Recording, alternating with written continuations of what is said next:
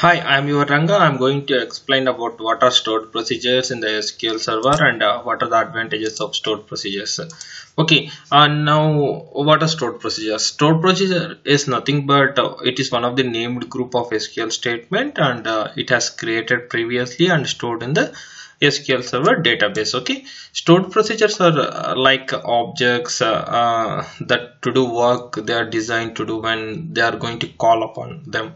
Okay, whenever you are going to call the stored procedure, it will perform the actions as per your requirement. Uh, you are if you are sending the right values to the stored procedure, it will perform the important task whatever is required. And also stored procedure can is like the view for selecting the data, and also it can able to work as update uh, it, you can able to execute the update statements or creating a new objects tables uh, and uh, you can able to perform database backup also using uh, in the using this uh, stored procedures. These are the, some of the few advantages of stored procedures. And uh, you can able to update the stored procedure as per your requirement and all the clients will get the new version of the stored procedure and it will it will uh, uh, reduce you it will reduce the sorry it will reduce the uh, what is it um, mm, perform it, it will improve the performance and it will reduce the network traffic and uh, it will ensure the integrity of the database logic and uh, uh there are a lot of typical stored procedures are there in the Uh, system uh, uh, SQL server. These are the predefined stored procedure. Let's uh, see the some of the stored procedure how it look like in the SQL server database. Uh, just I, I, have opened this SQL server. Now and uh, you can able to see this window here and you can able to see the uh, no uh, adventure works database.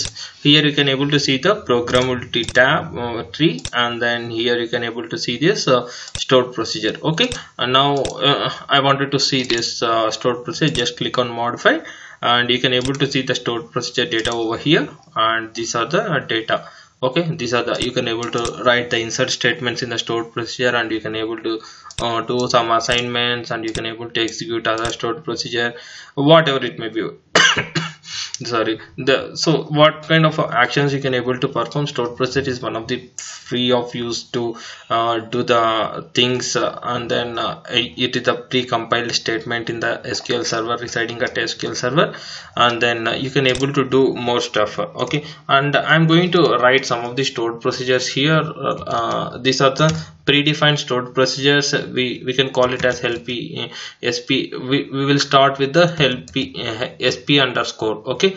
And if you are going to select this and run this you can able to see the adventure works donations master and then some of the stored procedures which are there in this database okay? Uh, so you can able to see all this. Okay uh, if you are going to work with like uh, uh, sp underscore dependencies uh, like uh, this adventure works sir? Just i'm going to take this adventure works and i can able to perform sp underscore rename uh, db and source name and then some xyz adventure. I can able to run this. So there are so many so many syntaxes are available over here. Uh, just I'm going to try this. Let's see syntax and near adventure. So there are some other syntax is there for this rename db so we will uh, look into this uh, uh, rename db and other activities uh, in the few in the next interview questions. Uh, uh, i hope you enjoyed this video. I will catch you in the next video friends. Hope you are going to like share and say thanks in the comment section. Your feedback is more valuable to me to upgrade in the new videos to upgrade me in the new videos so thanks friends. Have great days